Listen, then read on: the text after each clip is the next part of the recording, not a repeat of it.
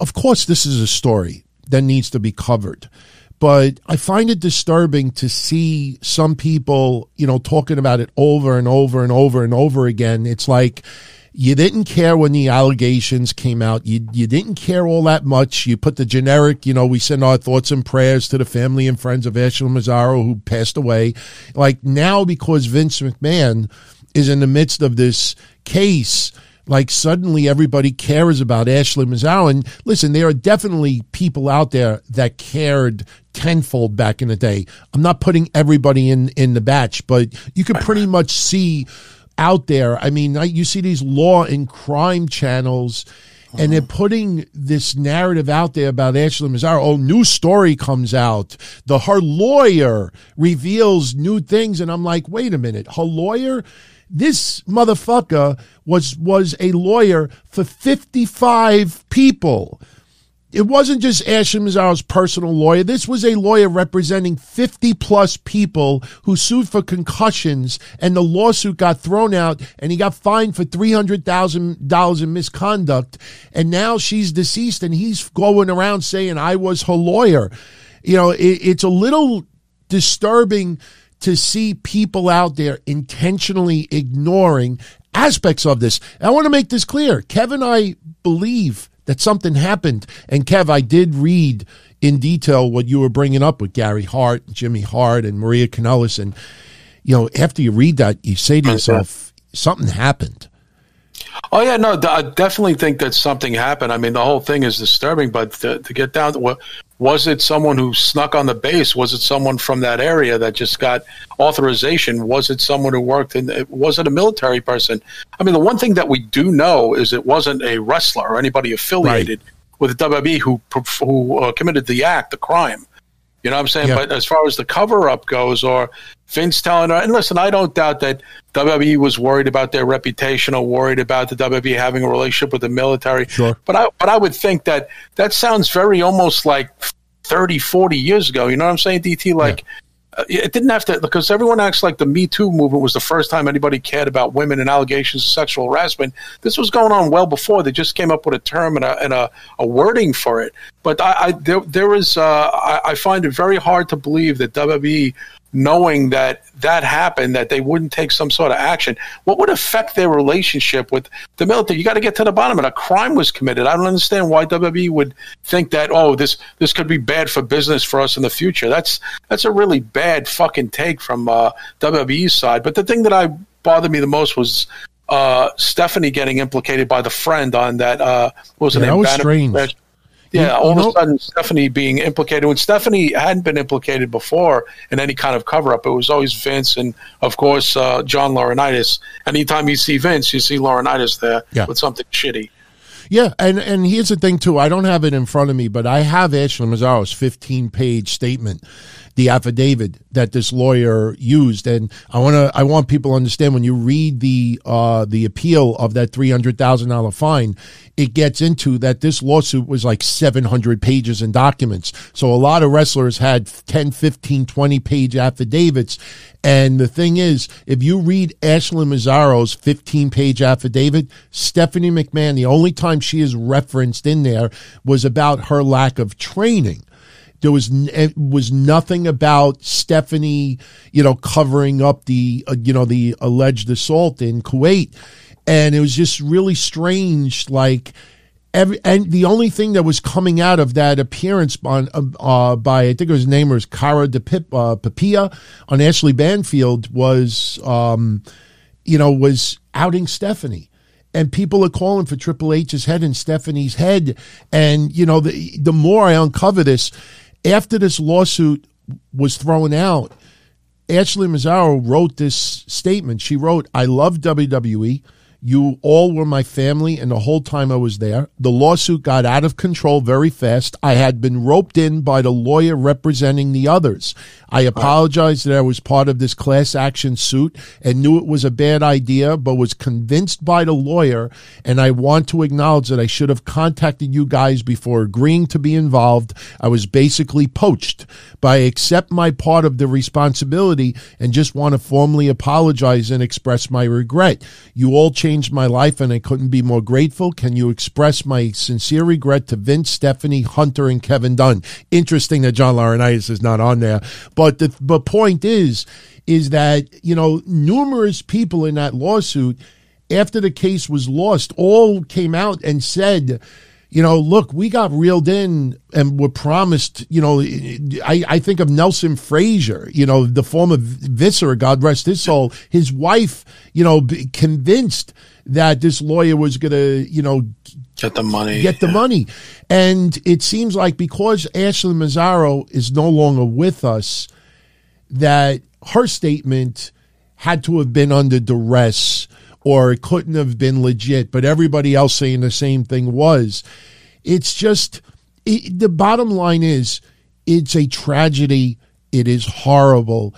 We should grow and learn from other people's, you know, disgusting behavior. We should all try to make this a better place. And it seems like a lot of people out there are trying to do anything in their power to make somebody pay for this. It, you know, and the thing is, you cannot turn around and after Ashley Massaro is gone and say, "Oh, well, she told me this and she said that, and I was on the oh, phone with her and she promised this and she revealed this." You know, uh, that, that is just it's hearsay. It won't fly, but it won't fly in court anyway. It's called hearsay, and it's it's not going to be anything other than you know that's equivalent to someone saying, "I saw Bigfoot." Yeah. You know, it's the same thing. You saw Bigfoot. I saw. I swear, I saw Bigfoot, and you know, oh, he seems credible.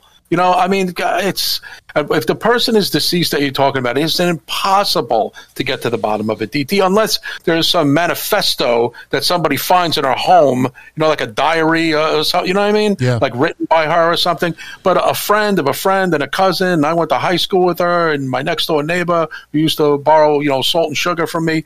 It's hearsay. It's, it's, it's all hearsay gonna, at this point. Sorry, that's what it is, guys. Yeah, and here at, at the end of the day, this is what I say in conclusion on my end. You know, I, I understand that there was some type of military investigation a couple of years ago, but what I pointed out on Friday on the sit down was how come Vice all this media, all these people to this day have never put in a FOIA request, have never re- put in a Freedom of Information Act request to find out what the findings are. And I think the answer is pretty simple. The reason why Vice and no one else wants to come and get the answer to the military investigation is if the military tells them, look, we found nothing, then the argument is really, really, their argument is really devastated. So the fact that they don't know, they could continue assuming the worst. You know what I mean? I, I truthfully believe something did happen. Oh, you so know, do I. I. I. totally believe something happened. There's yeah, no and, and I think it was it, it, could have been somebody in the military. I just when you see that military base, Kev, this is the thing that people need to understand too. You know, this is only a couple of years after 9-11 you know and they're in kuwait and we're in the middle of the iraqi war in kuwait and afghanistan and everything else and it is a military base where president bush was there. Do you think somebody random in kuwait you know not only was able to get through the base but brings with them paralyzing drugs and brings a woman with them and is just scoping out and see who can we go and how would they even know that to go in this room and nobody would see them and this and that? I think it was if something happened i think it was definitely somebody military. You don't just put get your hands on that stuff. And if you walk through the base who are you? Where's your pass how did you buzz yourself in? How did this you know this is shortly after 9-11 this is not a csi episode no, and also when you have Americans there, whether it's celebrities or people on the base, it's very strict and you're it's very regimented what you do throughout the day and where you go and who's allowed here and who's allowed there, yeah. who's got access here, who's got access there. Uh, and the other thing that I found disturbing about that story uh, from Ashley's account was like supposedly like there was a woman standing guard while the guy was uh, yeah. assaulting her, yeah. something like. Yeah, it's, it's crazy. It, fucking crazy. It's man. crazy. It's disturbing. But unfortunately, because Ashley Massaro is no longer with us, we cannot get anything more on this other than her 15 page statement and her apology. Anybody saying anything now, even if they care, even if they were close with her, even though they want justice for her, you know, unfortunately, you know, we can all insist on justice for a victim, somebody that we loved that maybe didn't come forward, did not, you know, confront their accuser, you know, was afraid, whatever the reasons were, and then that person that we loved is no longer with us. We cannot turn around and decide, you know what, I loved my friend so much, I'm going to be judge, jury, and executioner because I loved my friend you do not have that authority. You do not have that power. Even though your intentions are 1000% sincere, you can't do that. It's just at the end of the day, it's all hearsay. And I guess, can we, you want to segue to Velveteen Dream? Of course. Also, let's, uh, you know, someone was, Ben was saying before in the chat, one of our longtime uh, listeners, uh, that she was apologizing for the lawsuit, but she she wasn't saying that you know she wasn't raped or had nothing to do with the rape. I, I understand what you I, I understand what you, he's saying, but uh, why would you, you know? I think that was there was specific that she was talking about the lawsuit. I don't know why would she have brought up. It's because people are saying DT if she had such animus towards the McMahon family, why would she apologize to him about anything?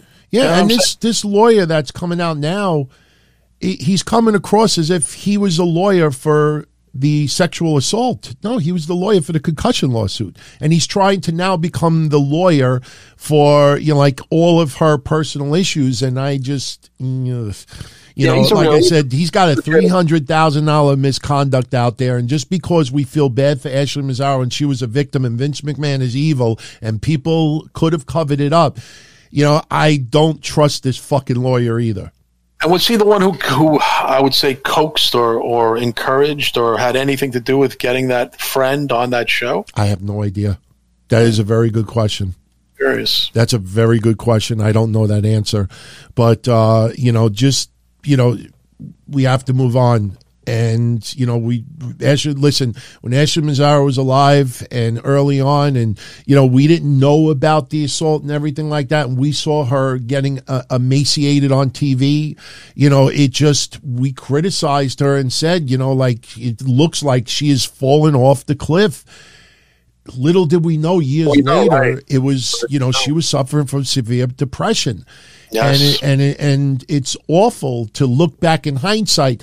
But one thing I will make certain is I won't make that same mistake again.